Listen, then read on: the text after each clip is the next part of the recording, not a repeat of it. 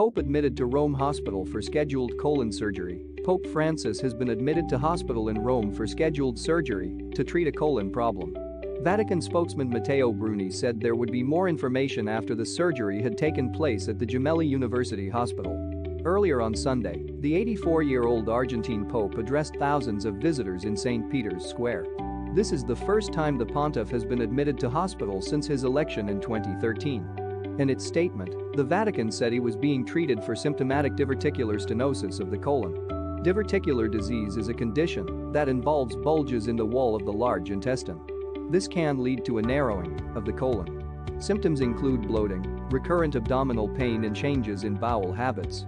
During his Sunday's blessing in St. Peter's Square, the Pope announced that he would go to Slovakia in September after celebrating Mass in Budapest, the capital of neighboring Hungary. Born in 1936 in Buenos Aires, Francis lost part of his right lung at the age of 21. He also suffers from a hip problem and sciatica, which causes pain that radiates from the lower back to the legs. In 2014, he had to cancel a number of engagements because of a reported stomach